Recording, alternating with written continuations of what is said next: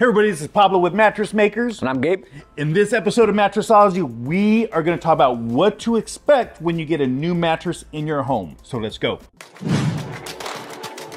So if you're watching this video, that means you're in mattress shopping mode, you're looking to get a new mattress. Unless you're a mattress weirdo and you just like to geek out on mattress stuff, then well, thank you. Give us a call. We always are looking for hiring mattress weirdos. But usually you're in mattress shopping mode. What happens after you get the mattress in your home? So, Gabe, why is this important? Yeah, it's important to for a few reasons. One, it's gonna save you some time. Save you some time. You know, when shopping for a mattress. Yep. It'll save you some money. Yep. Because you have the right expectations. And then two or three, it manages your expectations Yes. for that first night when you have that mattress. Yeah, yeah. The first couple of weeks when you have that mattress. This is really important because, you know, there are times before we started going over this with customers that people will give us a call like within the next day or two days after getting their mattress delivered, even a couple of hours after delivery. It's like, hey, is my mattress supposed to do this? This is what's happening. And all of that was normal. Like, here, that's common. And since we started doing that, customer satisfaction totally went up and then those calls went down and people kept their mattress that was the right one for them. So, uh, we wanted to go over this with you. So after you get your new mattress, these are the things that you need to just pay attention to. Which let's go over the first one. There are five things that we say you just pay attention to, what to expect. I would say the most common one. Common one is gonna give it some time. You gotta give that mattress some time. There are two things that need to be broken in with the mattress. Yes. One, the first is obviously the mattress. Of course, the mattress, obviously, yes. Yeah, the mattress needs to break in. The materials are stiffer, not so much with latex. It doesn't drastically change as much as foam does. Right. It still changes, but not as much as foam. And then also the coils too. They start need to start being used and stuff like that. Yeah. You know, it just needs to almost common sense, but we don't really think about that. Yeah, I mean, it's like a new pair of shoes. I mean, Right. the, the analogy I always like to use is like a new pair of shoes. You get a new shoes, a little bit stiffer. It takes Mm-hmm. some time to break those in, especially in like high quality leather shoes. Like, it's going to take a little time to break those Yeah. until they fit your feet properly. That's very similar to a mattress. Yep. It's just going to take some time for the mattress to break in a bit, to, for it to feel like the showroom floor. Mm-hmm. And usually takes a few weeks, maybe anywhere from three to six weeks on average, depending on the type of mattress, depending on the person. But it does take some time for the mattress to bro- break in. Yeah. But there's, what were you going to say? Yeah, I was gonna say I was gonna throw in. Yeah, I mean you're jumping into it already, but the mattress is number one. The mattress is number one, but there's also a number two thing Which that is needs to be broken in. Yes, Gabe's getting zealous. I'm I'm just throwing. it. I'm ready to he's go. ready. Run. So Uh, yeah, your body. Yeah. Gabe, what? So what do you mean? Like your body needs to be broken in? Like what does that mean? Yeah, so your body's not used to the new mattress, right? It's been on that.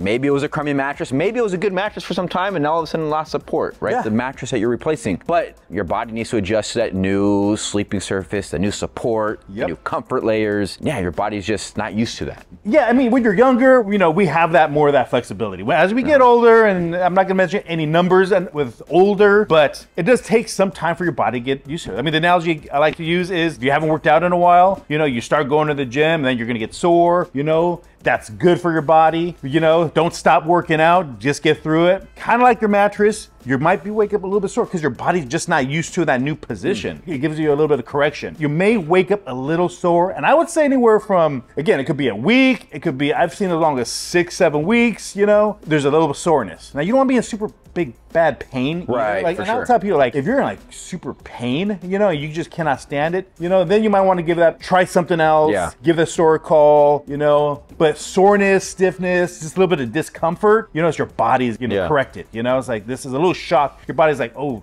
what are you doing? This Mm-hmm. is different. You know, this is a different firmness, different support. This is it. So your body might go through a little shock. You know, and as we get it older.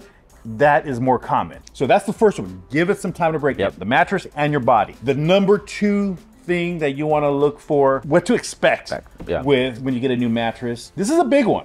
Is body impressions. Yep. Gabe, what is body impressions like? What? Yeah, so a lot of people would assume like the body impression, oh, it's just now the mattress is breaking down, it's sagging, Yep. doing what my old mattress did. But you know what? Again, these are there's all brand new fibers inside there, right? Never been slept on, never been lied on, and just like a brand new pair of shoes, you know, you start wearing the shoes. It's stiff at 1st Mm-hmm. and all of a sudden it starts molding and shaping to the to your feet, and it's Yep. like, dang, it feels good now. Yes. Same with the mattress. The fibers you're sleeping on it, I mean, that's 180, 200 pounds. I mean, what, 250? No, I'm just kidding. Dude, no, dude. um, Yeah, he no. lost like he's lost like 40 pounds, and now he's giving me a hard time. No, I'm just kidding. Um, Yeah. No, but you know, you're sleeping on that one area for six, seven, eight hours a night, and of course, it's the fibers are just gonna start, you know, compressing, and it's the natural shape it'll take. You should take the rest of their life. Yeah, yeah, it is just gonna settle. Usually it's just that top layer that's settling. Because you know, there's three parts to a mattress. You got the top layer, you got the comfort layers where the most of the cushion is, then you got the support layer. Usually it's that top layer is going to settle some a bit. Mm-hmm. You know? That happens with any mattress. It doesn't matter the quality of the mattress, it's gonna happen with just about every mattress. Even these ultra luxury mattresses, and when I say ultra luxury, I'm talking about the $30,000, $100,000 mattresses that happens to. Because I know this, I have a friend, he was a rep for this super luxury mattress company, and he came into my store one day on the phone. He was getting an earful from this customer who would just talk about her mattress dip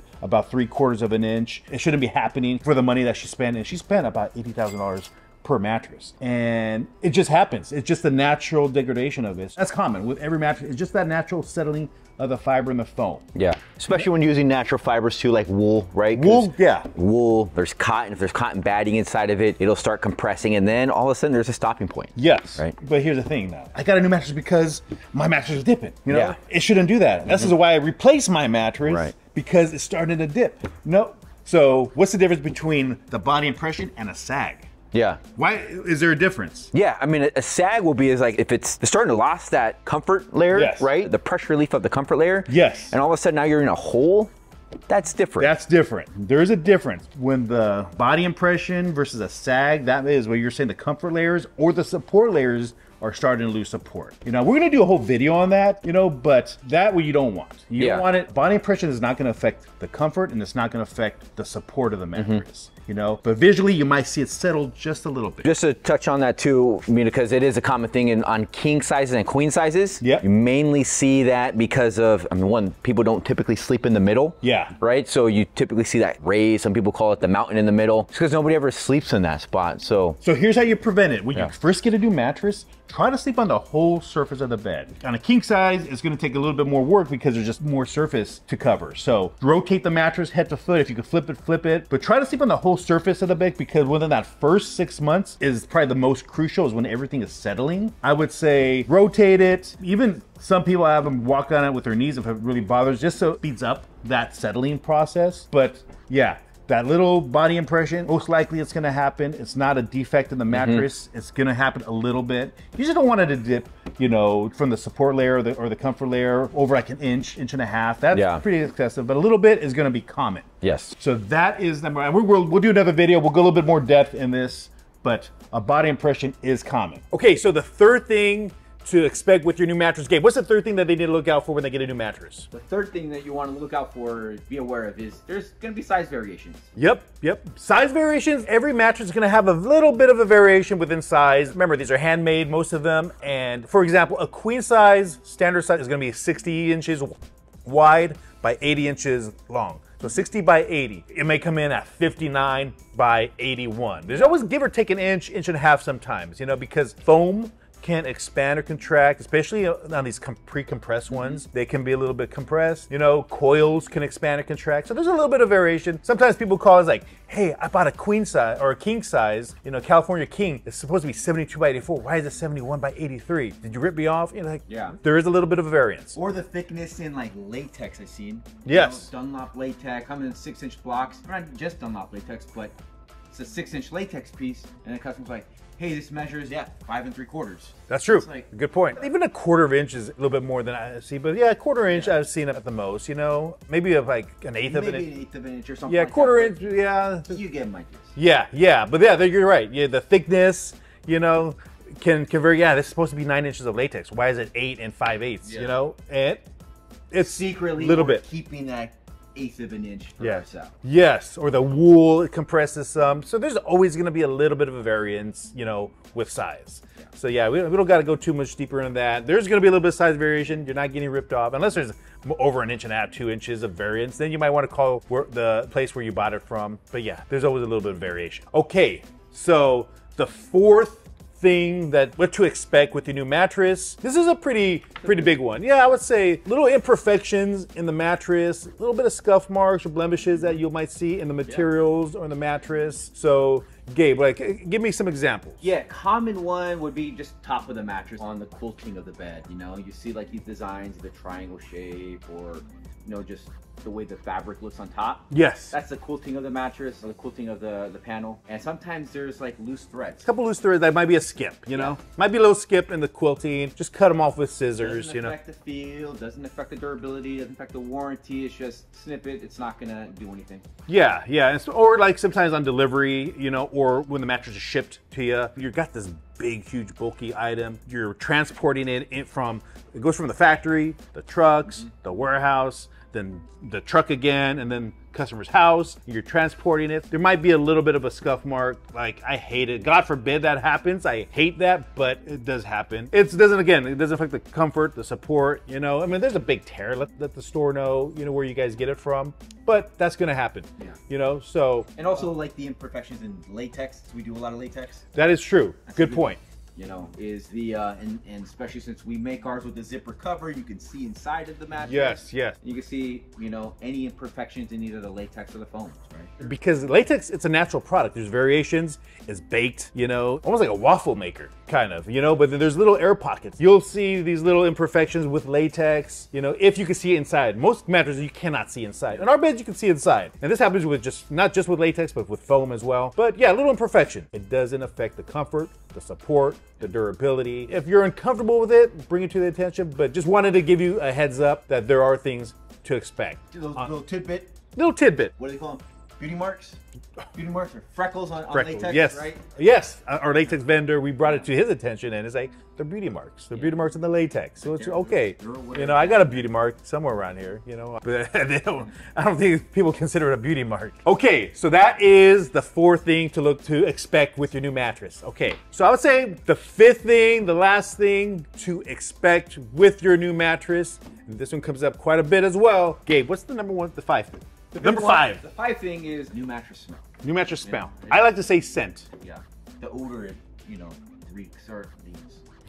yes. When you get a new mattress, there's gonna like anything new. There's going to be a new odor or a scent with a new mattress. I would say this can be imp- very important though too. There's different types of odor. You know, if you get a typical mattress with you know the foams, the polyurethanes, I mean Blues. the glues, those are gonna have a much distinct odor from a natural mattress like a latex cotton wool mattress. And some people are really susceptible and sensitive to the mattress scents, you know? I don't want to say I cannot emphatically say that it's harmful, but I would say if you're sensitive to that thing, just pay attention. You know, if you're gonna get more of a synthetic one, it might not be the right one for you. You know, there is gonna have an odor. You're gonna smell like the polyurethane because the mattresses they're made, they're sealed up right away in plastic. A lot of them are compressed. All that smell is gonna once you open that plastic, you're gonna notice it, and some people can't handle it. Is it harmful? I don't want to say it's not because I don't know. I haven't done any testing, but I cannot do colognes, perfumes, like synthetic air fresheners. I get headaches. Same thing with like new products. My sister just got a new car a couple a few weeks ago, and people love it. I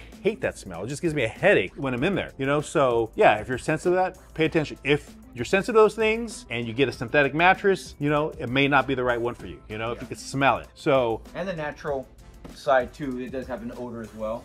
yes, yep, It's a natural rubber, so it, it is. It's a rubber. Yeah. It smells like. I mean, the Talalay smells a little. Have a little sweet smell to it. Some people say vanilla, you know, it is a different smell, but there's a difference between off gassing and just an odor. Yeah. You know, so one I would pay more attention to. One is just that odor will go away. So the new mattress scent is something that you're gonna notice most likely when you get a new mattress. And open windows, right? Let it breathe. Let it breathe out. Yeah, let it air out. Sometimes, a lot of times, it just takes a day or two or a few hours for it to dissipate. You know, you'll you're gonna notice that. All right, I think we're good. Yeah. Those are the fifth thing. Yeah. Those are the five uh, things on what to expect with a new mattress. So I hope this video helps you guys on your mattress shopping journey.